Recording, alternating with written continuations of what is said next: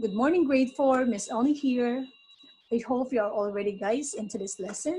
We are now in chapter eight, lesson two. So sit back and I will take you to early history of the Midwest. So let's start the lesson with the learning objectives. So number one, to describe Native Americans of the Midwest ways of life. So we will find out about their customs, their traditions, or a typical way in which this group of people lives. And number two, we will describe the exploration and settlement of the region.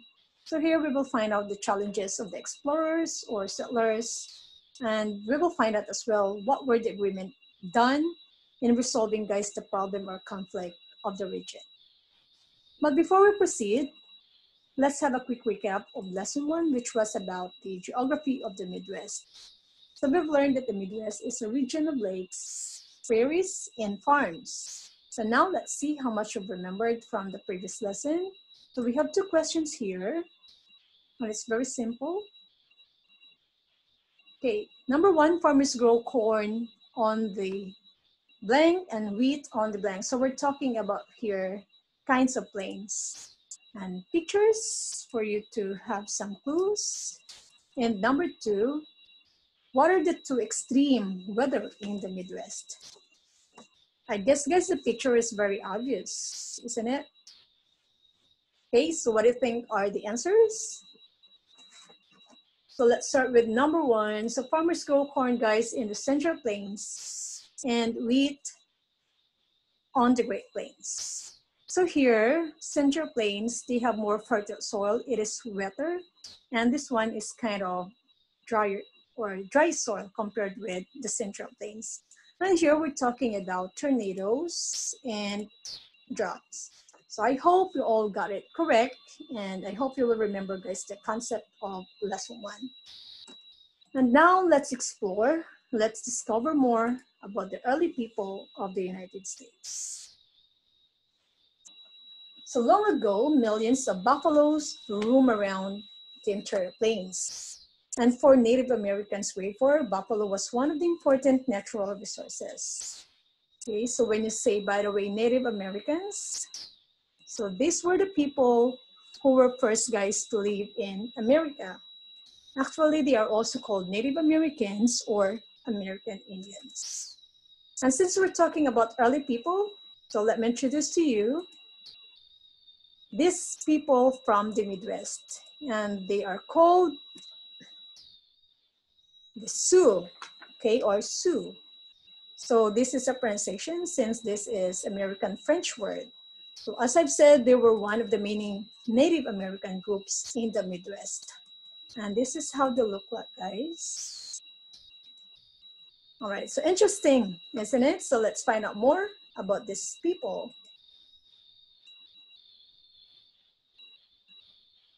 Right, so actually they live in villages along with the rivers and lakes of the Central Plains.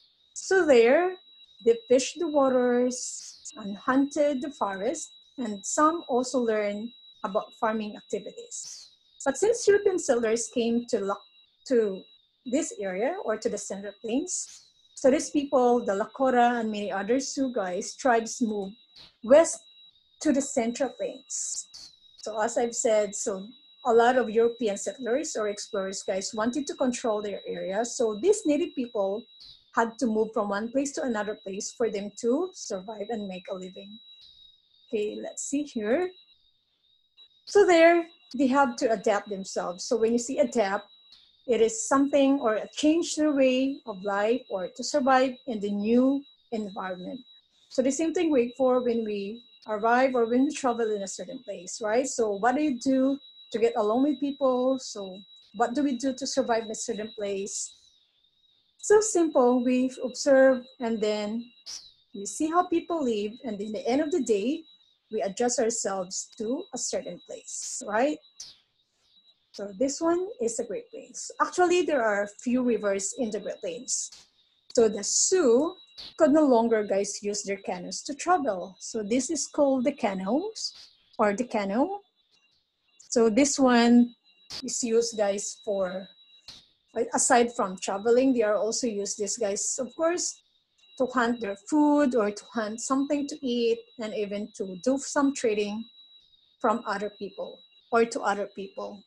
Okay, and then because of this, these native people learn how to capture horses and even learn how to ride on horses. And by the way, horses before were first brought to the Americans by the European explorers. And now here is a buffalo. Have you seen one for real? This is huge, guys, right? So let's find out about buffalo. So the Sioux, as I've said, moved from one place to another place following the herds, guys, of buffalo. So that's the very reason that they didn't have or didn't build their permanent villages or farms. So like other Great Lakes native groups, so the Sioux use buffalo guys for most of their needs. So let's find out what are those.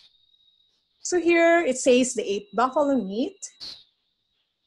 And number two, they use the skins to make teepees, clothing, and blankets. So teepees, so this is the native house of the native people. So this one, guys, is made from skin of buffalo. Of course, clothing and blankets to protect themselves from different kinds of weather. And the third one, so they made tools, needles, and arrowheads from the bones and horns of buffalo.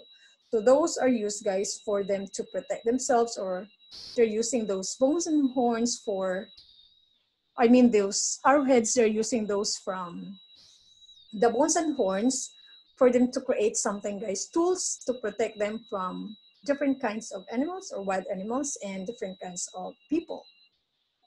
Okay, so let's proceed. So I hope you will remember this. What are the importance of buffaloes to native people? Okay, now let's continue. Let's have a comprehension check. We have a very simple question. So how did guys the Sioux depend on the buffalo? Look at this picture and can you point out the item that made from buffalo? All right, so look at this picture. So this is teepee, right? Teepees. And these are made from skin of buffalo. So here are the answers. Okay, so you see this, they're drying this for them to use for their clothing or it could be dried meat, right? So there are different or there are several guys reasons why buffalo is very important to native people. Okay, now let's move on to the old Northwest. Okay, so European explorers and traders began traveling to the Central Plains in the 1600s. And there, they learned guys how to build their forts along the region's waterways so they could trade with the Native American people. So they are very resourceful. So imagine and remember they are explorers. So they really have to try their best guys so that they can get into Central Plains and they can do some trading to Native American people. Then over the years, so different European countries actually fought wars over the control of the Central Plains and its resources. So as I've said, the Central Plains, they had a lot of different kinds of resources. So a lot of European settlers or explorers wanted to control the place. And in 1783, most of the region became the part of the United States. And the Northern Central Plains became known as the Northwest Territory. By the way, grade four, let me tell you, you might be confused why it's called Northwest and we're talking about the Midwest. So let me tell you that before, the Northwest Territory, guys, got its name because it was northwest of the states that existed at that time, okay? And here, look at the map. So let's have first the boundaries of the Northwest Territory. So we have three waterways here, and we have Ohio River, we have the Mississippi River, and the Great Lakes. So here you can see OH, which stands for Ohio, and here is the Ohio River. And the one extending here, guys, this is the Mississippi River, and the one on top here, the one in blue, these are the Great Lakes. And all these areas, all the states are the Northwest Territory. So let me tell you what are those, the present day states that were part of the Northwest Territory. So those are Ohio, Indiana, then IL for Illinois, and we have Michigan here on top. Then we have Wisconsin and some parts of Minnesota. All right, so let's proceed to the next one. So before, thousands of settlers rushed to settle in the territories of fertile lands. So as I've said, so many people actually, guys, European people that really fight or fought to own something or to get something in this area of the Central Plains. So sometimes actually there were like two settlers claim the same piece of land and arguments broke out. So the United States leaders decided to control the settling of the Northwest Territory. Now let's find out what are those. So first, they sent workers to survey or measure the territory. So survey here means to measure the territory. And number two, the government divided the land guys into squares called townships. So each township guys was divided into 36 smaller sections. So after this, section will be divided and it will be sold to settlers. So it's like to be fair, right? So it's not just like, oh, I see that piece of land and before I heard wait for that people before people don't have like the title of the land right? So they just like oh i see that piece of land and they can just own it without really buying certain piece of properties. And the third one the government guys passed the northwest ordinance in 1787 and when you say ordinance it is a set of laws that describe how the territory's government would work and it does also actually explain how new states could be formed there. Okay, so let's wrap up the lesson with these three questions here.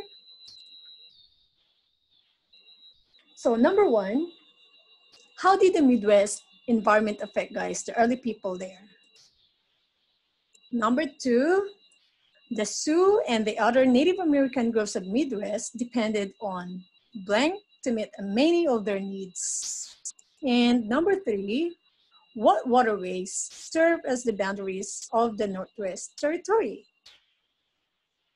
Okay, so let's find out the answers for you guys to remember the important key concept of this lesson. So first, it affected the kinds of houses people built, how they traveled, and how they got food. So as I said, so the key word here, guys, is adapt, right? So people learn how to build their houses according to the kind of place that they have or even the kind of food that they have there. So it depends to the availability, availability of their needs. And number two, of course, it's obvious. It's buffalo. And number three, so we have the Great Lakes, the Ohio River, and the Mississippi River. All right, so that's for today's lesson grade four. I hope you learned something and let me know if you have some questions, if you have some confusion in this lesson, please let me know. And stay safe and stay home for now. Bye.